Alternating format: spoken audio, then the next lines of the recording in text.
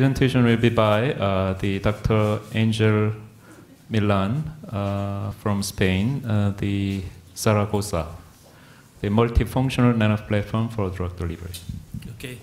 Good afternoon. Thank you for being here, and thanks to the organizers for giving me the opportunity to show our, our work. You can see from the long list of authors that this has been a work with a lot of participants from many countries. I can mention the University of Aveiro, the University of Pavia, the University of Verona, University of Toulouse, the Center of uh, Cancer Research of Salamanca, and uh, many, uh, the Biomagune in San Sebastian, and many departments inside the University of Zaragoza, including the University, University Hospital. Uh, we believe that uh, in comparison with molecular systems, nanoparticles offer a big advantage, is that they can join, they can ensemble many functionalities. So we try to make profit of that, and we have been developing, sorry, we have been uh, developing uh, systems, strategies to make uh, what we call a multifunctional nano platform. We, uh, our strategy is based on the use of uh, um, atom transfer polymer uh, radical polymerization. Uh, this um, uh, method for polymerization allows a very fine control of the size of the polymers and allows also uh, to ensemble several blocks of different monomers. So there are two ways to functionalize this uh, copolymer. One of them is to use the uh, functionality as an initiator of the reaction. Uh, we do it that, for instance, we can place here fluorescein, and then the polymer will be fluorescent.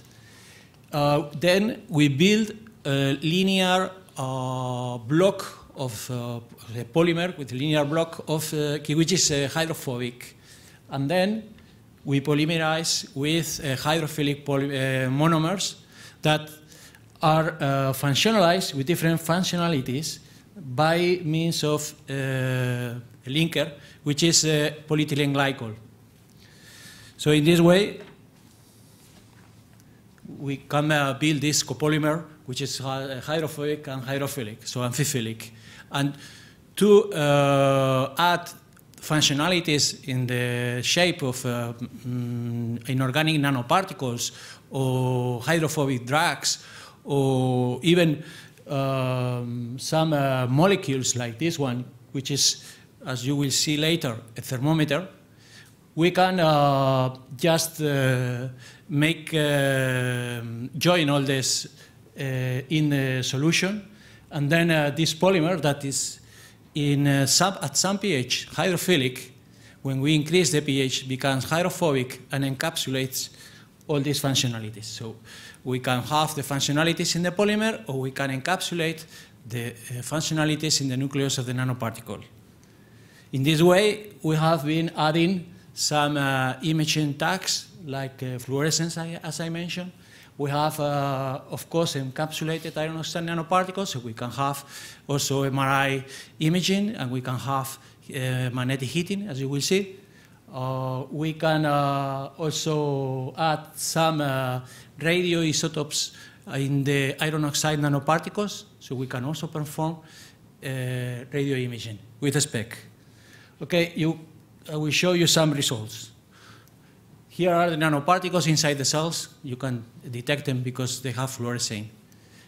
When you mark the, some organelle inside the cell, then you can see where the nanoparticles go. In this case, they go, all of them go to the lysosomes.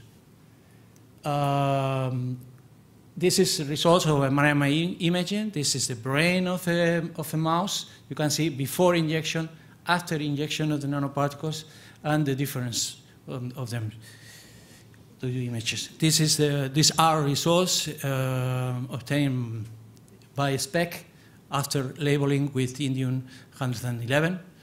And you can follow very well the biodistribution of the nanoparticles.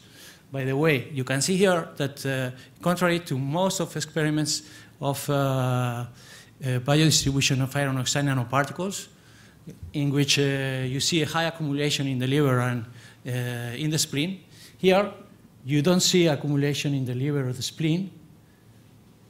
Here, uh, but you see um, that the nanoparticles go to the kidneys and they are excreted after some time by urine.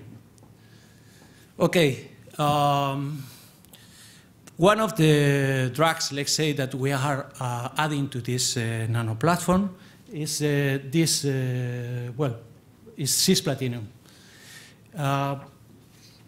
Uh, I think I've been going too fast. No, okay. Well, the first uh, drug that we have just, used is an antibody that has been used in more than 30,000 patients for the treatment of cancer for some years. It has been developed in Cuba, in the Center of uh, Immunology of Cuba. And uh, well, you can see here that we are perfectly able to uh, attach the nano, to conjugate the nanoparticles with the antibody. You can see it, uh, the effect in the cytometry. Uh, this is, uh, is not occurring when the cells are with the control cells. Uh, I must say also that the antibody goes against the epithelial growth factor receptor.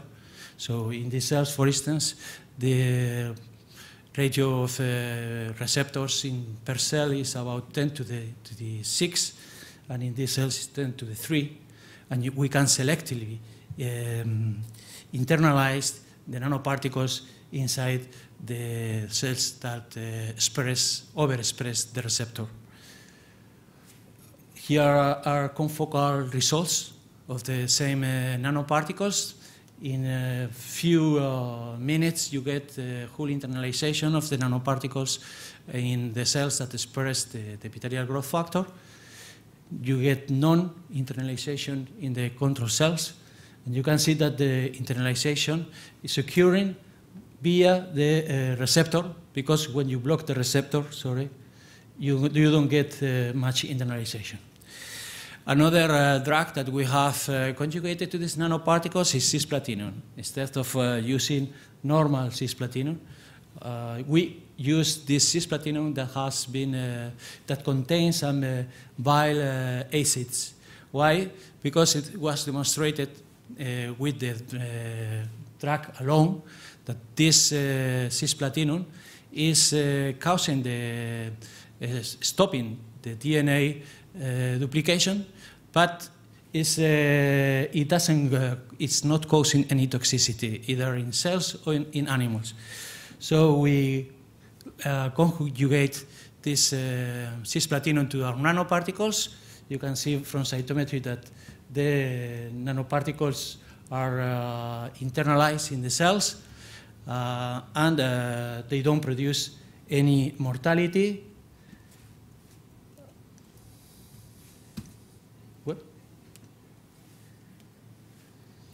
Okay. Sorry, don't have much control of this.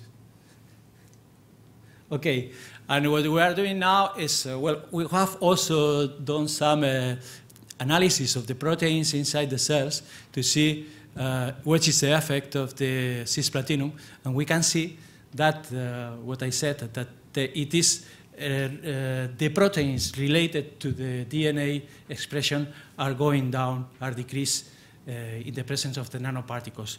So the, the, the drug is, is uh, working. This is uh, probably our, our best result. We, we are functionalizing the nanoparticles also with a molecular thermometer. This, is, uh, was, uh, this work was done in cooperation with the University of Aveiro. They are very good experts in luminescence of, lantan of lanthanides, and we were uh, giving the, the, expertise in uh, production of nanoparticles. Uh, okay. Come on. okay. As I said, it's a molecular thermometer. It's a complex a, a coordination compound of lanthanide with some organic ligand that is acting as an antenna to capture the photons of light. Then this light is uh, uh, gone to the, the energy goes to the lanthanide, and the lanthanide is emitting light. Um, we use actually two types of lanthanides to make a thermometer. the, one of the lanthanides, for, uh, europium for instance, is uh, emitting always with a constant intensity. And you can see it here in this plot. But the other lanthanide is decreasing the intensity with the temperature. So the ratio of the two intensities is giving us straight the absolute temperature of the, of the molecular thermometer.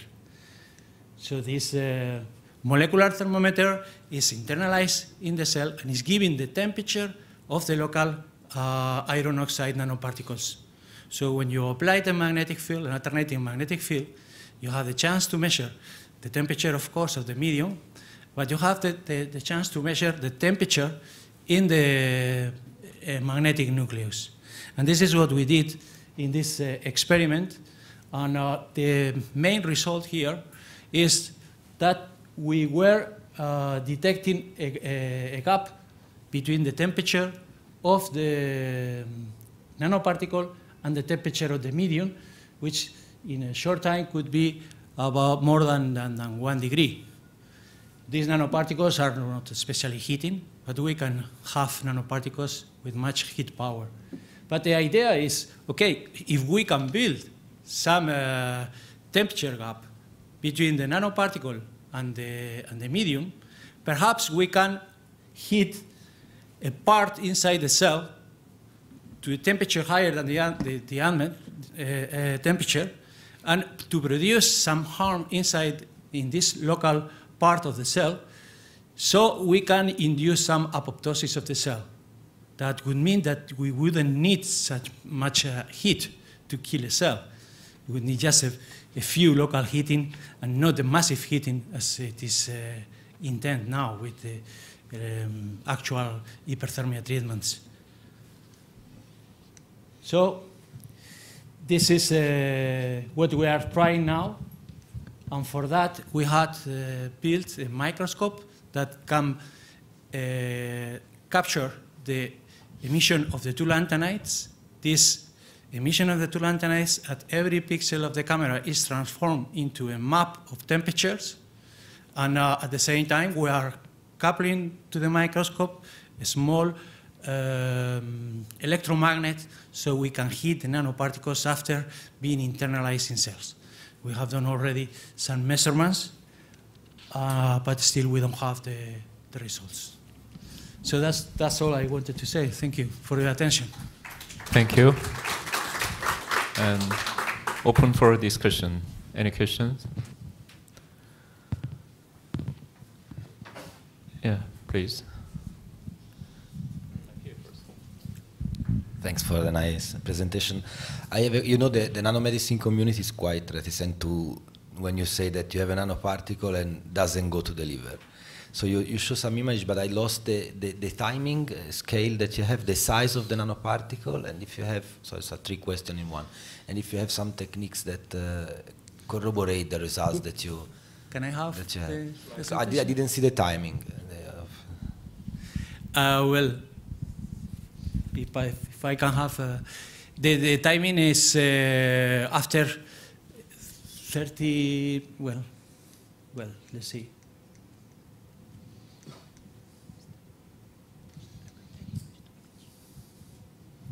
Okay, here.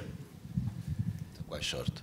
Uh, in the first uh, 90 seconds, all the nanoparticles are in the blood. So you, you see uh, more intensity in the organs mm. with high blood mm. contained. Mm -hmm. And then after 20 minutes, you already see the nanoparticles in the bladder. And well, after 3.5 hours, still you have some nanoparticles there.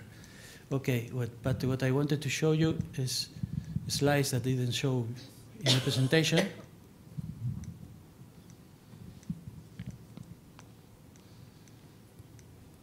Is this one.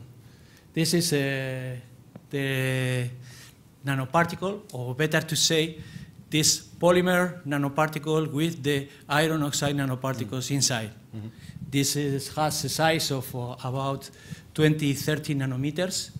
The nanoparticles uh, have a size of 4, 5 nanometers and this uh, nanoparticle was found in a proximal tubule cell. So it has crossed the, the glomerulus. Yeah, yeah. That's Thank you for the talk. I think that what you measured was uh, with your thermometer was the difference before and after induction with your magnet of the temperature. Is this correct? And, And- where, Well, where, my question is, how much temperature uh, changes and for how long is needed to kill a cell? we don't know. It's- That's what we are doing now. Uh, but, uh, well, we just built the, the equipment. The equipment uh, we know is working, but still we have to control temperatures, we have to control a lot of things, and we have to automate the temperature measurements from the intensities. But, uh, well, uh, we'll see. Okay. A, a couple of short questions. First of all, uh, your uh, conjugate of cisplatin with uh, bile acids. I wonder if it uh, changes dramatically the lipophilicity, hydrophilicity of uh, the conjugate as compared to the free cisplatin. So I wonder if cisplatin is able to get to the nucleus as efficiently as a free molecule versus conjugate with uh, bile acids. Well, we just have indirect uh, results. Like, uh, as I said, uh, we uh, were analyzing the proteins in the, in the cell, and we found that the proteins related with DNA expression were uh, decreasing. But uh, we, we have not localized the, the bile acids or the nanoparticles.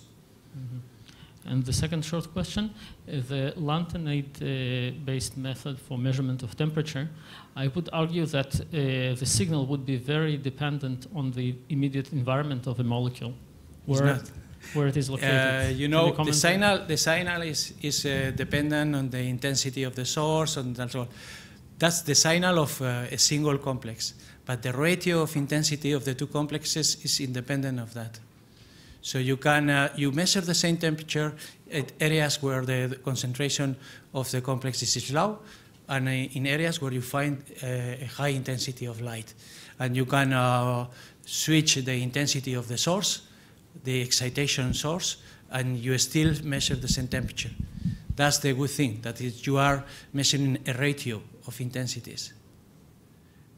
We have done many experiments, and it's quite uh, robust. okay. question. The bile acids um, can be uh, used as a vehicle to target to some cells. Actually, they are dendritic cells that they have a receptor called TGR5 that is a receptor for the secondary bile acids. Do you see that maybe even the distribution can be affected because you have this kind of uh, component? Yeah, probably. Actually, that was the, the idea of the people who developed these uh, cisplatinum complexes. They were looking for uh, targeting the, the liver, and they found targeting of the liver. And final short comment is uh, actually you shown you have shown the indium activity, not the nanoparticles. So let me remind you the actually first presentation by Wolfgang Tarak, Parak should have been uh, the like this. All the nanoparticles in vivo should be checked for their integrity. The uh, doped indium is not going to be detached in the serum or in the systemic circulation or after taken up by the macrophage or cell, endothelial cells. So that issue would have been checked. Yeah, well, uh, you know, uh, in the nanoparticles are prepared by precipitation with the base, and they are prepared uh, inside the polymer. So we, we, don't, we don't perform a normal liquid precipitation. We put the ions inside the uh, uh, polymer, and then we add the base. So the, the, the nanoparticles are precipitated inside.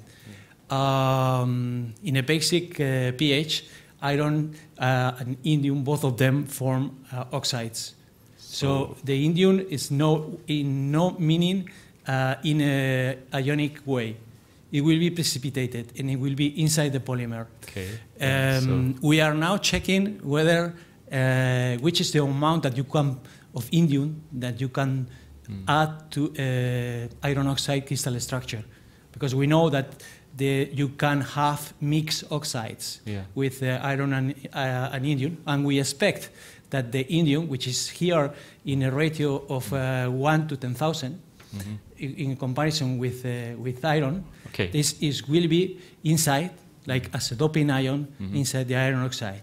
Yeah. But uh, uh, we believe that the proof is uh, the, the, the, the pictures. I mean, Yeah. if we, we have observed that the iron oxide gets inside the, the kidney. So, so my, my comment was, uh, even though it seems to be obvious according to the chemistry, but you need to, we need to have the experimental evidence, at least the serum stability. I mean, the mixing serum, the indium, if indium is released or the, the platinum, uh, DCG is released from the particle or not. yeah, we so are doing. yeah. So, You are, we are trying to get that evidence also using some uh, dialysis uh, methods. No, not just the dialysis, just incubation, and then check the uh, the the separate the particle and the supernatant, and if it is released to the plasma or serum. Ah, okay, that's, uh, Yeah, that's. Thank you. right. Uh, the next uh, presentation will be by